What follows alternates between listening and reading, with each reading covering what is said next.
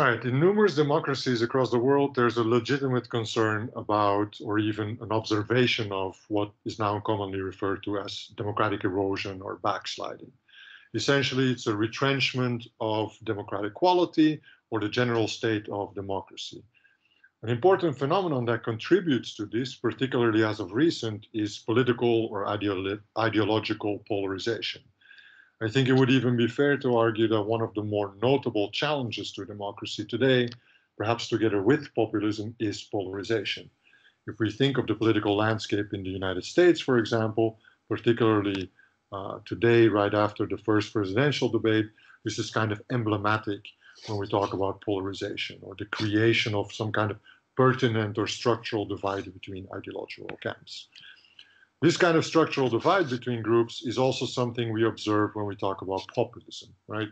We consider society to be divided in two rather homogeneous groups uh, who almost per definition cannot overlap or find each other. So it's needless to say that these two particular concepts, namely polarization and populism, uh, they are, or at least they can be, closely related to each other. Today, I'm joined by Lisa Zanotti to talk about this relationship between polarization and populism, as well as both of their effects individually on, on democracy. So, Lisa, I already referred to the notion of polarization in a rather very crude manner. Could you perhaps shed some light on what exactly we mean by polarization? Uh, yes, thanks for having me, first of all. Um, well, in general terms, we can say that uh, scholars uh, have referred to polarization as the ideological distance between uh, two, between parties in the system or between individuals in society. Um, as you already um, mentioned it, um, this is known as ideological polarization, meaning that uh, the differences or the distance between parties or individuals in the system uh, is based on their ideology and as a consequence on their um, policy preferences. Um, one important thing I want to mention right now, and I'm going to pick it up later uh, when we are we will we will talk about the relationship between polarization and democracy.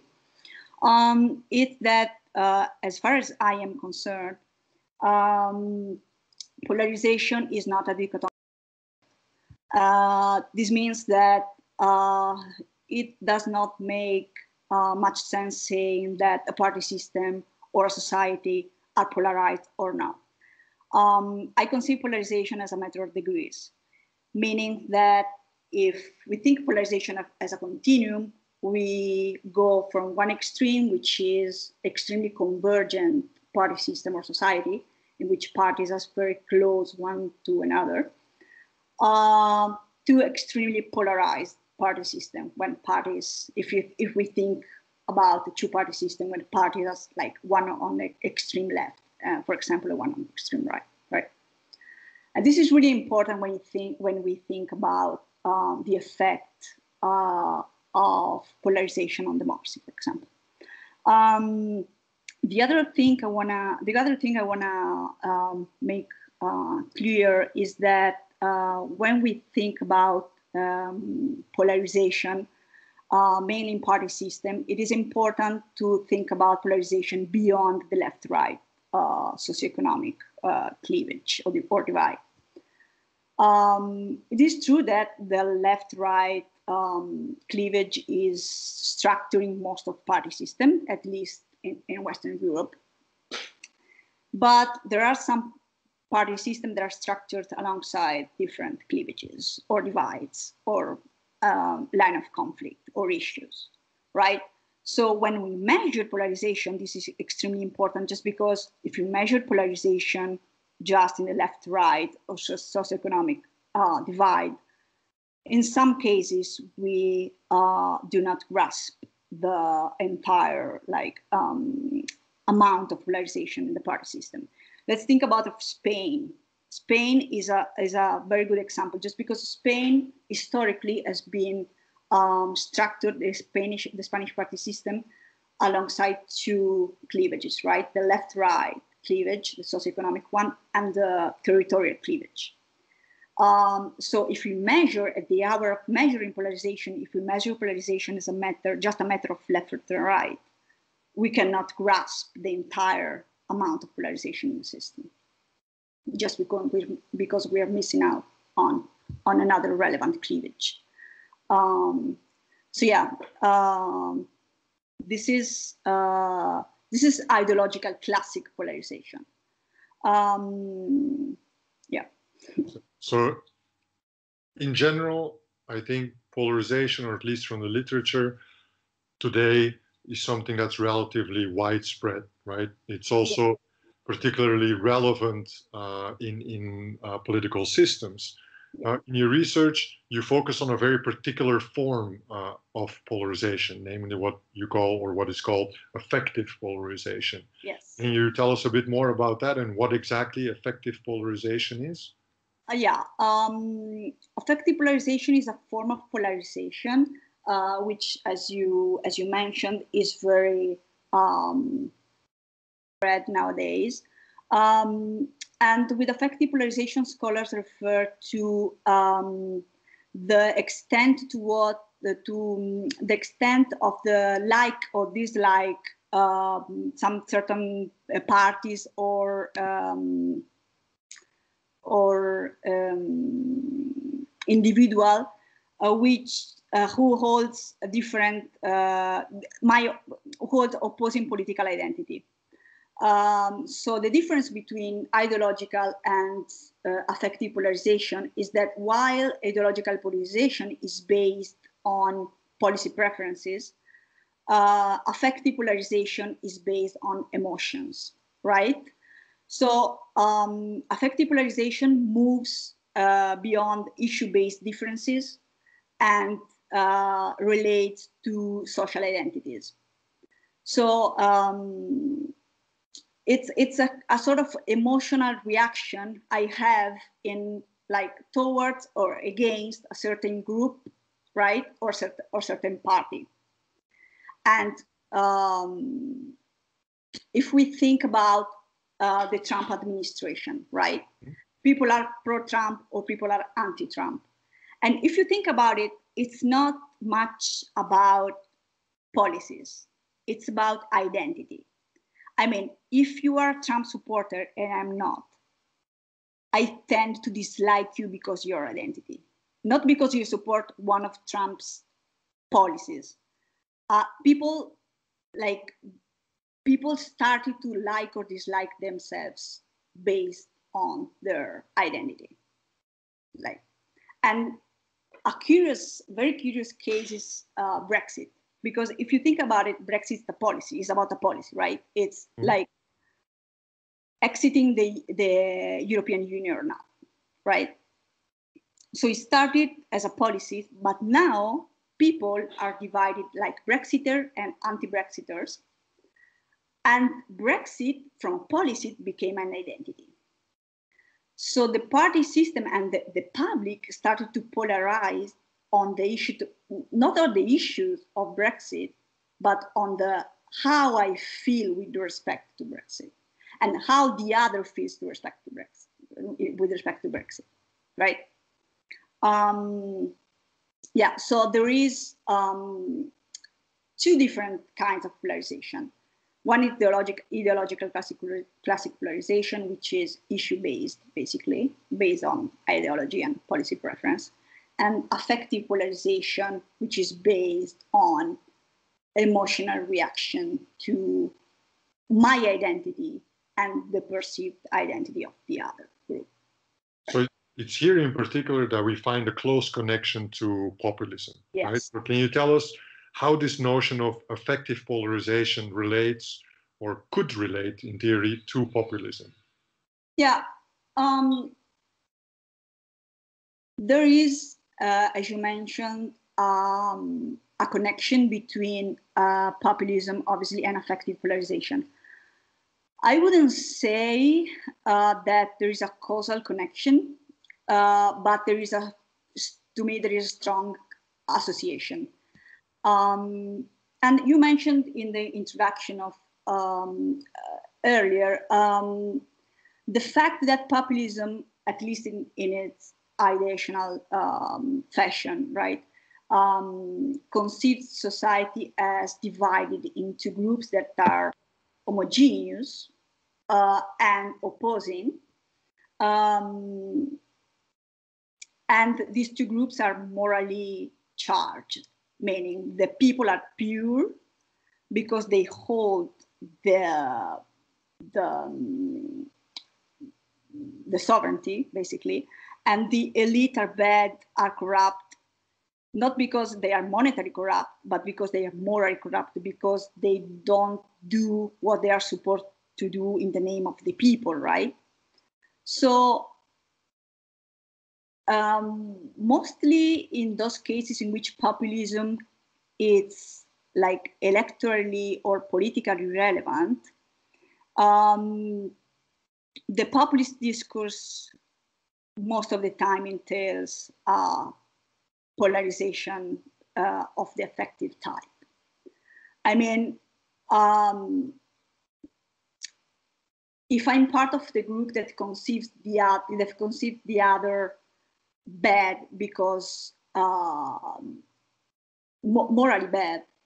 I mean, uh, it gets to a point in which I started to conceive the other people on the basis of their identity, and if this identity is different and is opposing to mine, um, societies and party system started to become affectively polarized. Um,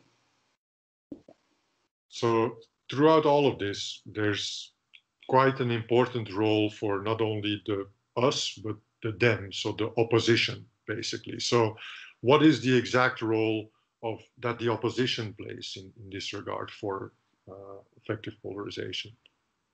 Yeah, I mean, if we think about um, the discourse of uh, populist leaders, I mean, we already said that the discourse of populist leaders are highly divisive, right? So they create an outgroup. Um, so the level of affective polarization when populists are in power, or I mean, when they are electorally relevant, is is uh, is, is gonna is gonna be on the rise, right?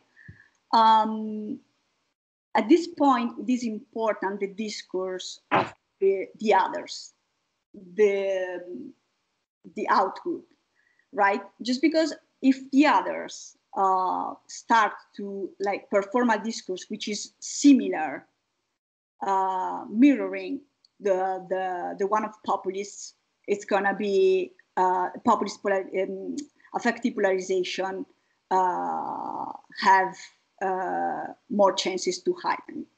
Just because um, it, it is a little bit uh, of uh, the contrary of what uh, Michelle Obama said. I mean, when they go low, we go high. Mm-hmm. If uh, when they go low, we go lower, uh, it's gonna be a really, really uh, big problem for, I mean, for the stability of the party system, for the cohesion of society, and for democracy also. So, if if we think that there is an actual connection between affective polarization and populism, yeah. we can perhaps ask, or we should perhaps ask the important question, chicken or the egg question, yeah. right? So you said that there is no necessary connection between the two. Uh, but what's the causal story here? Is it populism that tends to lead to polarization, or is it polarization that tends to lead to populism? Do the two just in general just appear jointly, or what do you think is the, the causal story here?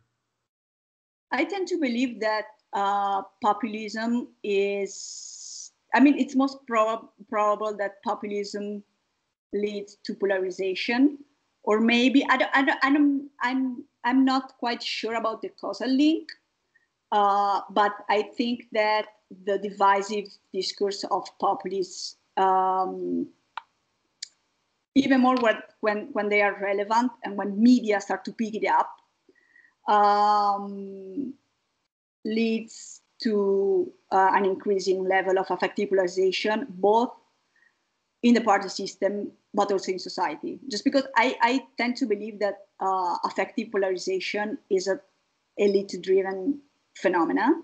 Mm-hmm. Um, so I think the role of the parties and the discourse of the leaders it's it's it's very important. Um, with respect to this, I think we have a video. Can you? Yeah, the first one. Uh, yes. Okay, so let me share the screen. Understanding Division American Politics.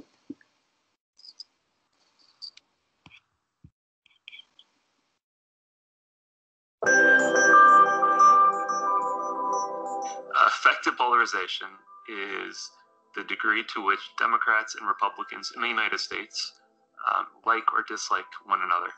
It's measured by the degree to which Democrats and Republicans are willing to marry one another, whether they would be happy or, or unhappy if their child married someone from the other side, whether or not they're willing to discriminate against the other side or avoid them. In the 1960s, roughly 5% of Americans said they would be unhappy if their child married someone from the other party. Today, the number stands at over 30%. So there's been a fivefold increase in the number of people that would be unhappy if this happened. We know that when people think of themselves as Democrats or Republicans, what they're really thinking about is their social group. The same way as some people might think about their race or their religion or their gender, it's what they identify with.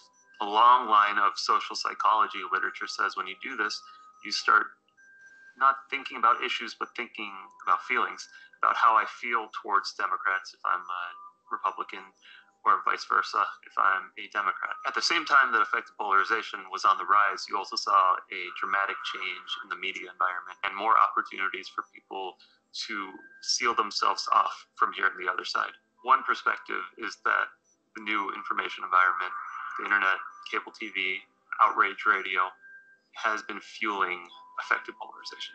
Another potential route of polarization uh, and one that I am now exploring in a working paper is whether the rise of close elections have exacerbated the problem. Um, what we've seen is an increase in very close elections across the US, elections that are won by uh, one percentage point or two, a coin flip election. When elections are very close, competitors feel like they have more to win or lose, um, so they fight the campaign harder The campaigns become more toxic. Um, there's more spending. There's more candidate attack ads. They're not attacking candidates on issues, they're attacking candidates on their character. All this leads to a more toxic information environment, as we call it, uh, which could exacerbate polarization. So, what we find is that people who live in districts that became more competitive because of redistricting have become more affectively polarized. My own belief is that affective polarization is elite driven, that it's caused by politicians and people following politicians. Politicians are the leaders of their group.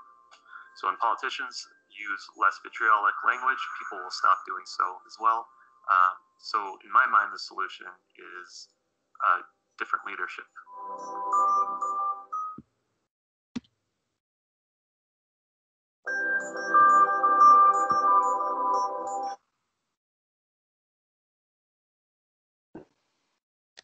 Okay, so that tells us quite a bit about the the relationship between uh, those those two, and so can can we then kind of recap or summarize the connection between affective uh, polarization and populism as two phenomena that are not necessarily or not automatically connected, but are still highly intertwined? Yes, I think that as I told you, when populism is relevant electorally or politically, like like um, what happened for Brexit, um, this came associated with high level of affective polarization. Which, if you if, if we think about it, I mean, populism is associated with affective polarization and not necessarily with ideological polarization. Just because it is true that I mean, populist parties may entail an, a rise of ideological polarization, but it's not due to populism. It's due to like the host ideology. I mean, we know that populist parties, like most of populist parties, are radical in their ideology. So it's it's it's this ideology that may like uh, entail um, the um, ideological polarization.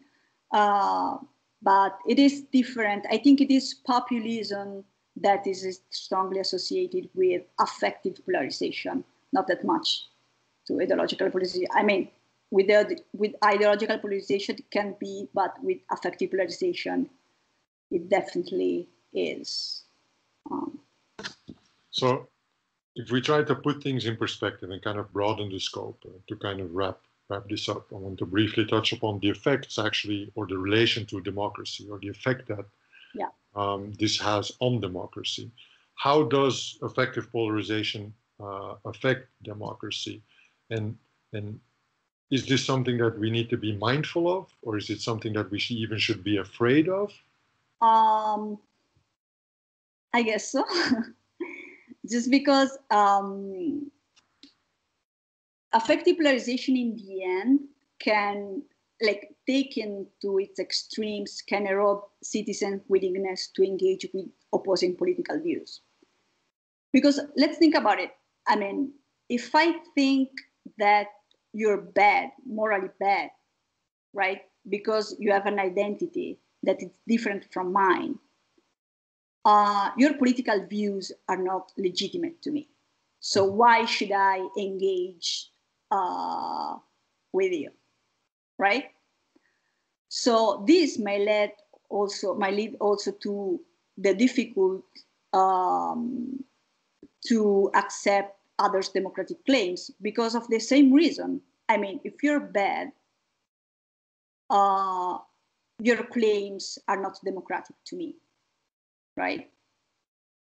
And ultimately, um, high levels of affective polarization uh, may uh, heighten the cost of accept defeat in elections. Um, and this is for the same reason just because if you're not a legitimate opponent, right, why should I uh, uh, accept that you defeated me in an election, right? So, and this is uh, by the book what's happening in the US right now, mm-hmm. right? Uh, Trump is starting to like uh, saying that uh, if he gonna if he's gonna lose, it's because election are rigged, right? Um, so it is like I think the U.S. right now is the country in which this is like more evident the high levels of ideological polarization. We're not even talking about issues. They're talking about identities, and the identities are this particular identity is embodied by one person, which is like it's it's not a U.S. Um, thing. I mean, this happens way much in Latin American countries, for example. Uh, if we think about Chavism in Venezuela, um, Hugo Chavez uh, was able to structure the party system uh, between those who were in favor of him, the, Chavistas, and the one who opposed him, anti-Chavistas.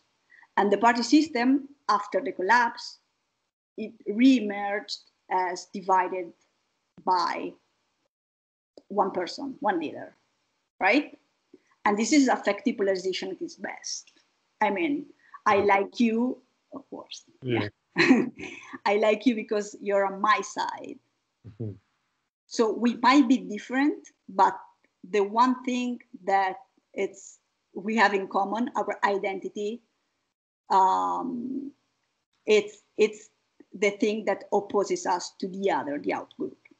So you see, I mean, it has a lot in common with populism. So yeah, that just goes to show that politics based or driven by emotions is not always necessarily a good thing, and we should never uh, neglect policies or issues which should still be at the foundation of politics. Lisa, thank you very much for uh, being a part of this. Thank you for having me.